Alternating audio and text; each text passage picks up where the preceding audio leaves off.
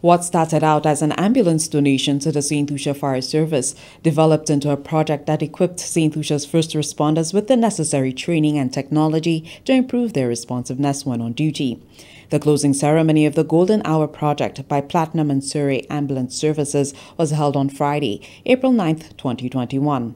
At the ceremony, participants in the training exercise received their certificates and the fire service received three new ambulances.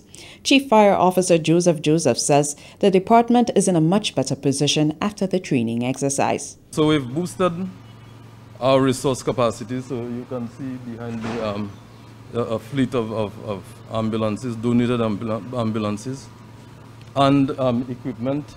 And of course, um, you will hear about it in, in, a, in a while.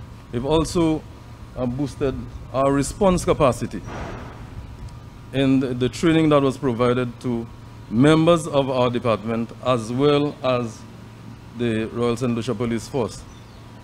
And also there's that opportunity for the Ministry of Health, the police department, and the, the fire department to work together, so to, to create that, that a, better synergy among, among the, the, the departments so that we can provide a better service to St. Lucia. Timothy Mordant, qualified instructor, paramedic, and chief executive officer at Platinum and Surrey Ambulance Services, says the aim was to aid in St. Lucia becoming one of the safest island destinations. Well, we're all in a time of COVID at the moment.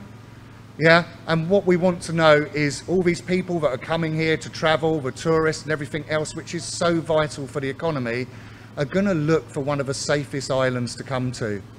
And what we're doing is we're helping and promoting St. Lucia to be one of those safest islands. We're going to be donating more ambulances. We're going to be coming over and carrying out more training and more qualifying and increasing the skills and increasing the partnership working through all the emergency services. And our dream is not only for it to be the emergency services, but we'll come here and start teaching teachers, other government workers, hotel workers, everyone in what we call our community first response course. So there is a, make, a medical capability across the island. Participant in the training exercise, Sergeant 385 Thompson of the Royal St. Lucia Police Force says the experience expanded his knowledge and ability as a first responder. Having completed the training, we now understand that we can perform an initial medical assessment and based on our observations and training, the relevant crucial information can be conveyed to the relevant body, like the responding um, appliances prior to the scene.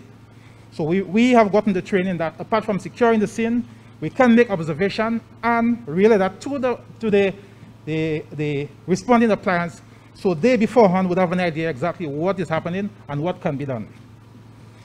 Having, prior to the arrival of the paramedics, we, also, we can also take necessary action, including how to apply pressure to wounds, applying abdominal thrust to a choking victim, or administering CPR to an unconscious person, which may be vital in saving that person's life or limb.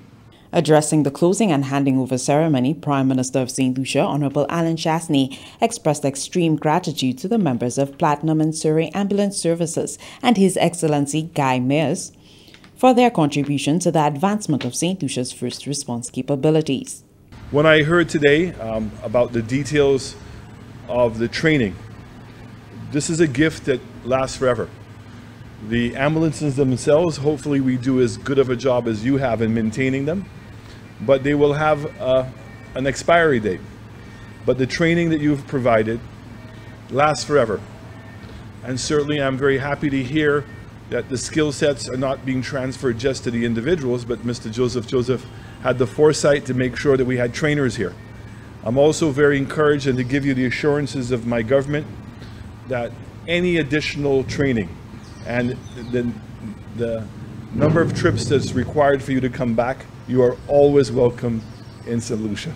St. Lucia's High Commissioner to the United Kingdom, His Excellency Guy Mayers, who facilitated the donation and training, says he looks forward to a continued partnership with Platinum and Surrey Ambulance Services. From the Government Information Service, Humadi Mark reporting.